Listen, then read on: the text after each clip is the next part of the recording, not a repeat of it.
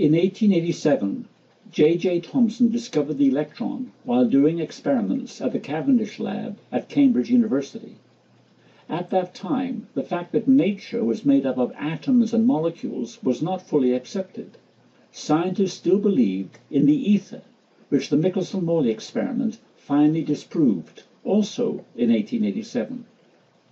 So J. J. Thomson's experiment not only confirmed the existence of one of the most important elementary particles, the electron, he also showed that atoms are not the indestructible building blocks of matter that the Greeks had suggested, but rather parts of the structure of atoms and molecules.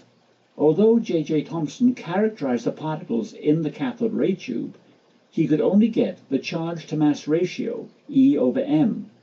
Was the mass and charge both very big or were they both very small? No one knew. So Thomson first suggested that electrons were uniformly distributed throughout the atom. This plum pudding model was incorrect. In a later ingenious experiment, Millikan was able to find the electron charge, and from the charge to mass ratio, this meant the mass of the electron was extremely small. It was 9.11 times 10 to the minus 31 kilograms. Now, by small, we mean that it is about 1800 times smaller than the smallest atom, the hydrogen atom. Hence, Thomson had discovered a new particle. After this, Ernest Rutherford of McGill University did scattering experiments and found that the nucleus indeed is tiny and massive, and most of the atom is a cloud of electrons. We had our first description of the structure of atoms. Let's look at the Thomson experiment in more detail. Now, science advances as new experimental techniques are discovered. Earlier, glass blowing techniques had evolved so that it was possible to embed metal in glass to act as electrodes and to evacuate the air from the tube. This cathode ray tube was a popular exhibit at science shows since the tube glowed. They were the first neon lights, although different gases were used than neon. Here is a part of the cathode ray tube. We now know that electrons boil off the cathode and move into the evacuated tube.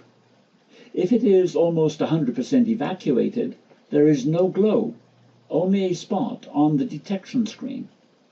At the time, it was not known if the particles were negative or positive. If there is a gas in the tube, it glows. However, if some air, like oxygen, nitrogen, or a noble gas was used, then these gases would fluoresce or glow. Here is an atom, and atoms have different energy depending upon their state, and these energies are quantized. As the electron hits the atom, it is absorbed, and the molecule jumps into an excited energy state. This is unstable, and the energy cascades down and is emitted at different wavelengths, which makes the tube glow. Thomson was able to build on the work of others. Even though he could only get the charge to mass ratio, he knew he had discovered something significant, and he said, We have in the cathode rays matter in a new state. Let us look at some of the results. It was first thought that positive ions or cations are formed, and these move to the cathode, called canal waves. But these turned out to be charged atoms, like the ones we have just seen. However, the observed beam was negatively charged, moved in the opposite direction, and did not have the properties of charged atoms.